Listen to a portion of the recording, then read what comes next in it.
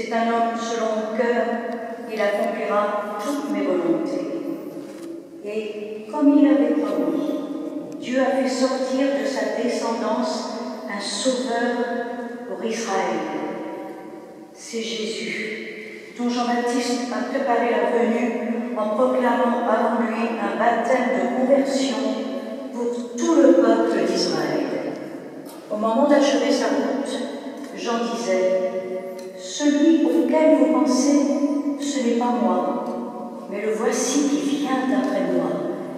Et je ne suis pas digne de lui défaire ses sandales. Fils de la race d'Abraham, et vous qui adorez notre Dieu, frère, c'est à nous tous que ce message de salut a été envoyé.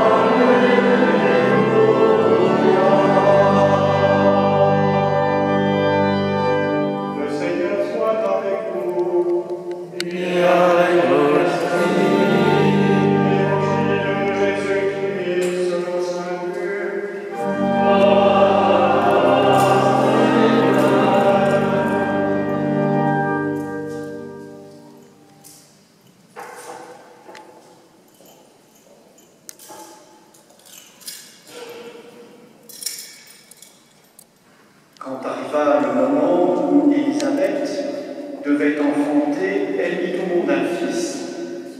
Ses voisins et sa famille apprirent que le Seigneur lui avait prodigué sa miséricorde et ils se réjouissaient pour elle. Le huitième jour, ils vinrent pour la circoncision de l'enfant. Ils voulaient le nommer Zacharie comme son père.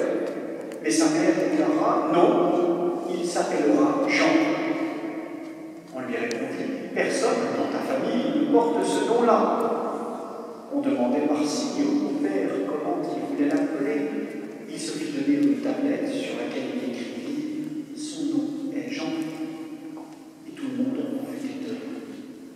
À l'instant même, sa bouche s'ouvrit, sa langue se délia, il parlait et il bénissait Dieu.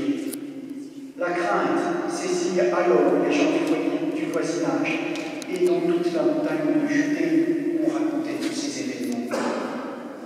Tous ceux qui les apprenèrent en étaient frappés et disaient Que sera donc cet enfant? En effet, la main du Seigneur était avec lui. L'enfant grandit et son esprit se fortifiait. Il alla vivre au désert jusqu'au jour où il devait être manifesté à Israël. La parole de Dieu.